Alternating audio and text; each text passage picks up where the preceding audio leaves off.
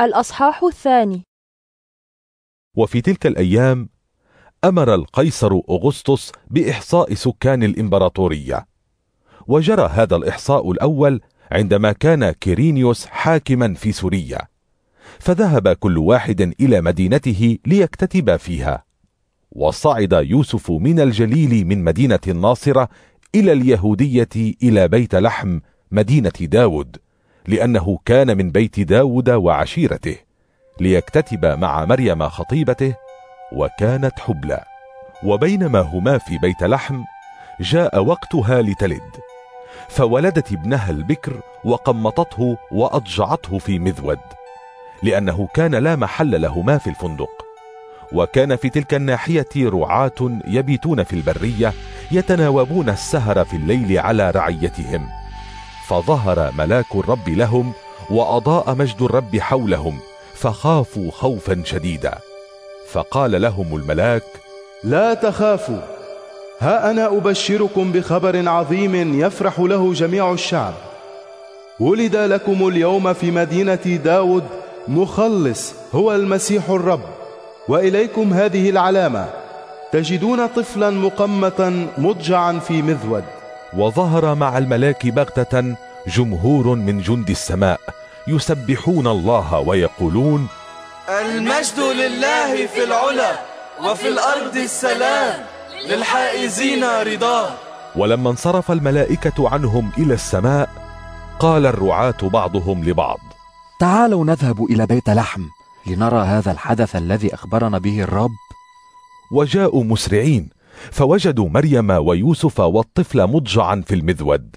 فلما رأوه أخبروا بما حدثهم الملاك عنه. فكان كل من سمع يتعجب من كلامهم. وحفظت مريم هذا كله وتأملته في قلبها. ورجع الرعاة وهم يمجدون الله ويسبحونه على كل ما سمعوا ورأوا كما أخبرهم الملاك. ولما بلغ الطفل يومه الثامن وهو يوم ختانه سمي يسوع كما سماه الملاك قبل ما حبلت به مريم. ولما حان يوم طهورهما بحسب شريعة موسى صعدا بالطفل يسوع إلى أورشليم ليقدماه للرب كما هو مكتوب في شريعة الرب. كل بكر فاتح رحم هو نذر للرب. وليقدما الذبيحة التي تفرضها شريعة الرب. زوجي يمام أو فرخي حمام. وكان في أورشليم رجل صالح تقي اسمه سمعان ينتظر الخلاص لإسرائيل. والروح القدس كان عليه. وكان الروح القدس أوحى إليه أنه لا يذوق الموت قبل أن يرى مسيح الرب. فجاء إلى الهيكل بوحي من الروح. ولما دخل الوالدان ومعهما الطفل يسوع ليؤديا عنه ما تفرضه الشريعة.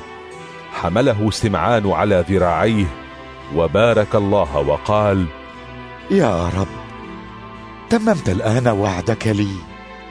فاطلق عبدك بسلام. عيناي رأتا الخلاص الذي هيأته للشعوب كلها نورا لهداية الأمم ومجدا لشعبك إسرائيل. فتعجب أبوه وأمه مما قاله سمعان فيه.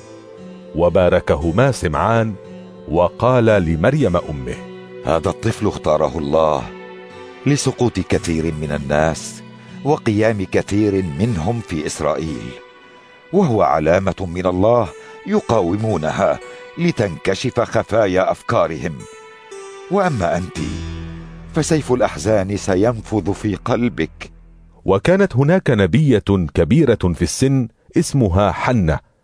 ابنة فنوئيل من عشيرة آشير تزوجت وهي بكر وعاشت مع زوجها سبع سنوات ثم بقيت أرملة فبلغت الرابعة والثمانين من عمرها.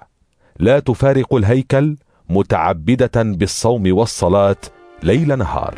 فحضرت في تلك الساعة وحمدت الله وتحدثت عن الطفل يسوع مع كل من كان ينتظر من الله أن يفدي أورشليم. ولما تمم يوسف ومريم كل ما تفرضه شريعة الرب رجعوا إلى الجليل إلى مدينتهم الناصرة. وكان الطفل يسوع ينمو ويتقوى ويمتلئ بالحكمة. وكانت نعمة الله عليه. وكان والدا يسوع يذهبان كل سنة إلى أورشليم في عيد الفصح. فلما بلغ يسوع الثانية عشرة من عمره صعدوا إلى أورشليم كعادتهم في العيد. وبعدما انقضت أيام العيد وأخذوا طريق العودة بقي الصبي يسوع في أورشليم ووالداه لا يعلمان بل كانا يظنان أنه مع المسافرين. وبعد مسيرة يوم أخذا يبحثان عنه عند الأقارب والمعارف فما وجداه؟ فرجعا إلى أورشليم يبحثان عنه. فوجداه بعد ثلاثة أيام في الهيكل جالسا مع معلمي الشريعة. يستمع إليهم ويسألهم. وكان جميع سامعيه في حيرة من فهمه وأجوبته. ولما رآه والداه تعجبا وقالت له أمه يا ابني لماذا فعلت بنا هكذا؟ فأبوك وأنا تعذبنا كثيرا ونحن نبحث عنك. فأجابهما ولماذا بحثتما عني؟ أما تعرفان أنه يجب أن أكون في بيت أبي؟ فما فهما معنى كلامه؟ ورجع يسوع معهما إلى الناصرة وكان مطيعا لهما وحفظت أمه هذا كله في قلبها. وكان يسوع ينمو في القامة والحكمة والنعمة عند الله والناس.